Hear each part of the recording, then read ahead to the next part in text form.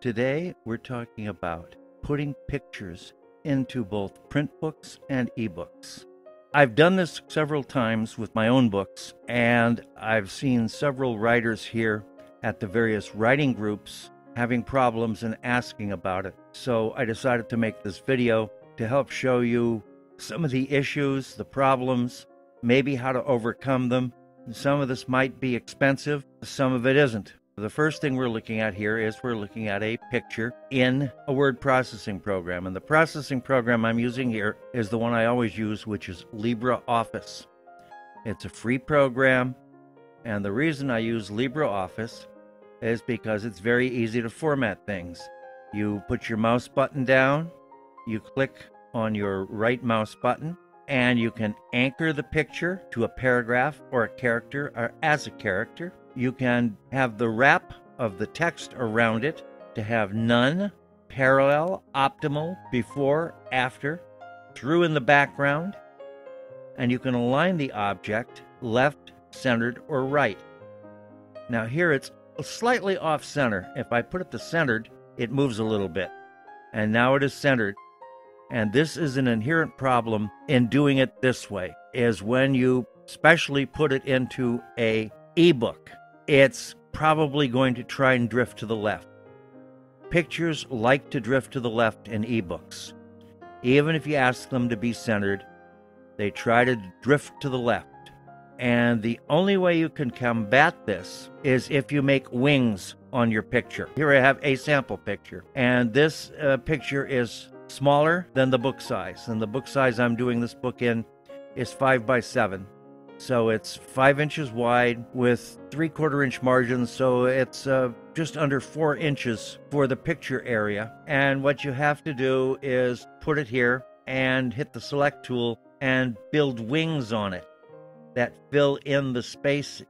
And these wings then make the picture, and you crop it, make the picture as wide as the actual page. And then it can't drift that easily. And you center it, and it goes from margin to margin. However, I have found that in print books, if you're not careful, you can actually put the picture over the margin. And when you do your preview, in Kindle, your preview of your print book, it's going to give you an error message and it's going to tell you your pictures are bleeding into the trim area. You have to go through and resize them or replace them in the actual book, as I'm doing here.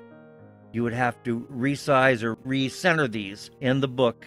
And as you can see, I didn't make the wings on this really big enough for this. The wings needed to be out to here.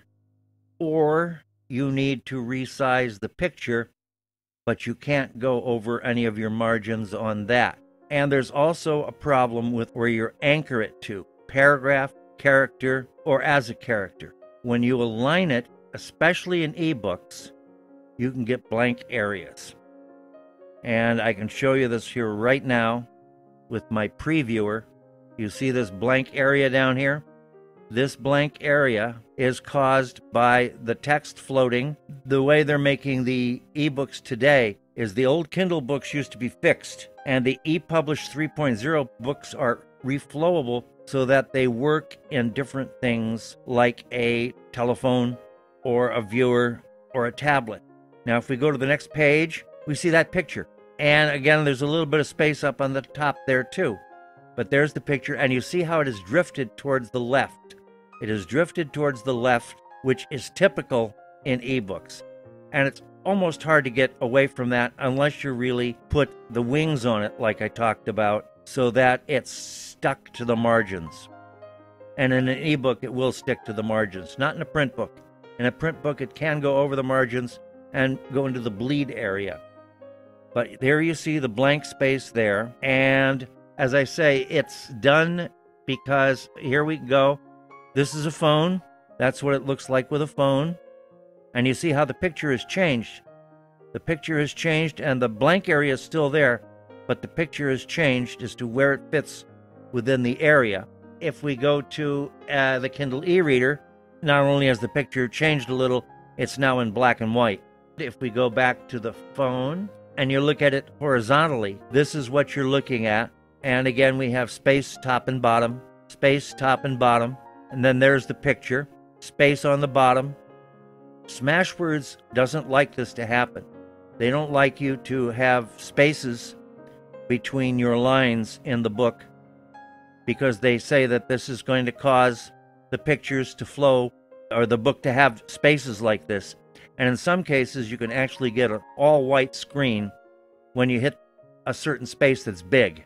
Now, I'm going through here to another picture to give you an idea that here the picture is taking the entire frame. But if we go to our vertical thing, you can see that it's within the text.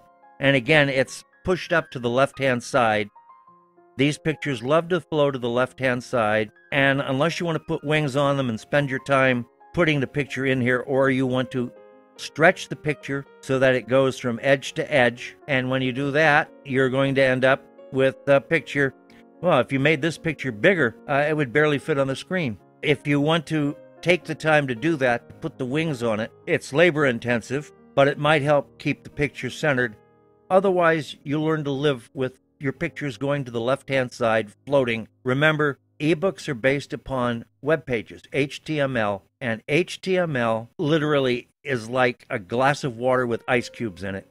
These ice cubes are your pictures and everything like that. And unless you put them into frames and frame sets, which doesn't work for an ebook, but on your website, unless you do that and then align them, you've got problems.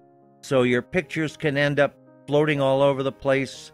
Uh, your text can end up floating all over the place depending on how you size the website and what your ra- uh, what your aspect ratio is in your computer as to whether or not you're uh, 2K, 4K, or in my case, I'm 900 by 1200 or something like that. So here again, we see what it looks like with the tablet. The space on the bottom in this case is the end of the chapter. So this is something you have to face when you're dealing with ebooks. With print books, it can be a little bit different if you work on it and place it. Like I say, if you align this properly, align centered, and then you still have to worry about what you're attaching it to because as your text flows, that picture is going to move. If the text flows upwards because you change the font size or you remove something during editing, let's say you take out a whole paragraph during editing, we don't know what's going to happen with this picture and we don't know what's going to happen with the paragraph after it. And you may have to reassign the anchor and you may have to reassign the picture. This is something you have to do in your word processor. The way to get around this really is to possibly use a publishing program like Microsoft Publisher, but in Microsoft Publisher, it is a page by page deal. You create it page by page. That's how magazines are made, and that's how professionally typeset books are made. Whereas in a word processor, it flows from start to finish, and your text flows and your pictures flow. Whereas when you do it in a publishing program, you're fixing everything in there. You're putting a box for the picture, that picture is then going to stay there. It is not going to move no matter what you do to it. And the text is not going to flow unless you copy and paste from another page or unless you edit it. And then you make a new page and you keep going and you keep going. So you may have to cut and paste your text from this word processor into the publishing program. And the only way you get a publishing program usually is if you pay for it. You have to get the big Microsoft Word suite you have to get the professional suite, which has Publisher. And Publisher will generate a PDF file, which is what you're going to need for making a print book. It will not generate an ebook file. Microsoft Publisher will let you export this as a HTML file, as a web page file, but your objects are in a fixed position. And this may not work with today's publishing programs.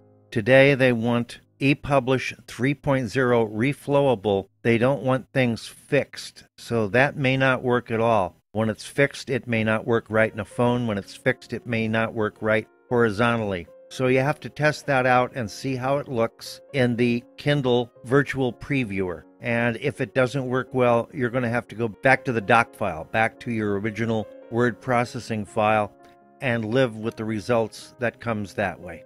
Here I've got two different versions in which I made a PDF from this word processing program with the pictures here, and I re anchored them, recentered them, made them larger, and you can see it's better. But it's also flowing different now, too. There's now text below it, whereas there wasn't text below it before. But now it is centered. And on this other picture over here, I made it bigger. I enlarged that picture to make it sit better. You can see it here. There it is in my first trial, and here it is in my second trial. But again, the text is flowing. Now, as far as I know, that's not going to really happen in your publishing program. In your publishing program, you have to reformat everything, which is why the publishing program is a little bit harder to work with, but it keeps everything fixed where it's at.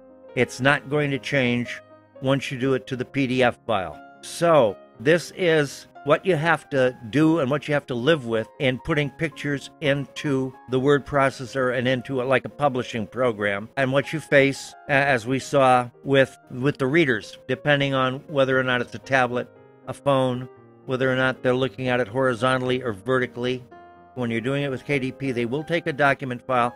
I have tried to do it that way and I'll tell you you have to do it over and over and over because when you go to the previewer Pictures are off the side, they're in the bleed area, they've moved from pages. In some cases, they've disappeared altogether. So, the best way to do it is to generate a PDF file and then go through it page by page. And as you find a picture or something that's wrong, you realign it in the word processing program and then generate a new PDF file. And you keep doing this until you get a PDF file that you're happy with. So, this is our look at putting pictures into both print books and ebooks and the obstacles you have to face. And as I said, probably your best resolution would be a publishing program, but that may cost you money and it may not do the job as well as you want either. So, you may have to live with the little idiosyncrasies.